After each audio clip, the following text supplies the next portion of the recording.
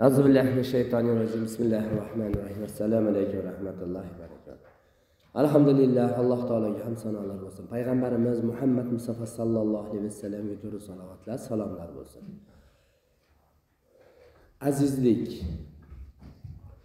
ulug'lik azizlik ollohniki rasuliniki mo'minlarniki munofiqlar buni bilmaslardi Keladi bu nima deyiladigan bo'lsa alhamdulillah. Ulug'lik azizlik ollohniki rasuliniki mo'minlarniki buni munofiqlar bilmaslar. Munofiq odam musulmon odamni holiga qarab turib kambag'al bo'ladigan bo'lsa bunday holatda bo'ladigan bo'lsa u qiynalyapti xorlanyapti. Bundayroq bo'ladigan bo'lsa yana bitta g'iybat qilib turaveradi. Bilib qo'yaylik. Bu mo'minlar qanday aziz bo'lar ekan desa bu mo'minni azizligi alloh taolo shundoq ham aziz. Alloh taolo rasullarini rasululloh sallallohu alayhi vasallamni tanladi insonlar ichida o'zi aziz qildi. Endi mo'minlar qanday aziz bo'ladi? Deyilgan savolga qisqa javob qilib o'tib ketamiz. Mo'min musulmon odamni azizligi la ilaha illalloh deb til bilan aytdi dil bilan tasdiq qildi hayotiga tadbig'i bilan.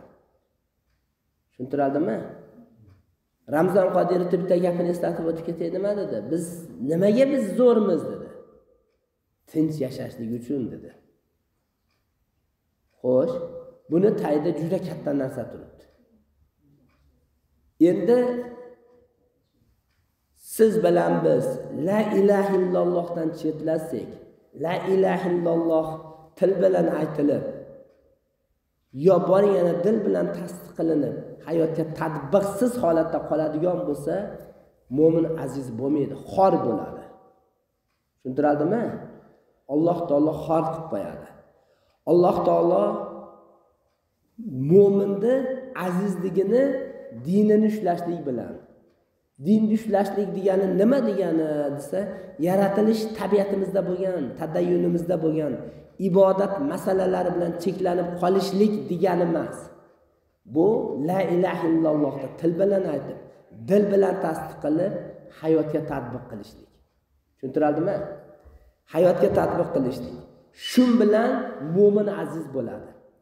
Biz azizlikni hozirgi kunda dunyodan istaydigan bo'lib qoldik. Dollardan istaydigan bo'lib qoldik. Obro'dan istaydigan bo'lib qoldik. Mansabdan istaydigan bo'lib qoldik.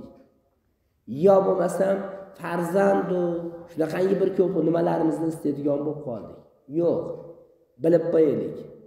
Mana murojaat qilishganida ularda kofirlarda farzandu dunyo masalalarini aytganda rasululloh keyin mana alloh taolodan kitob oyat keladi.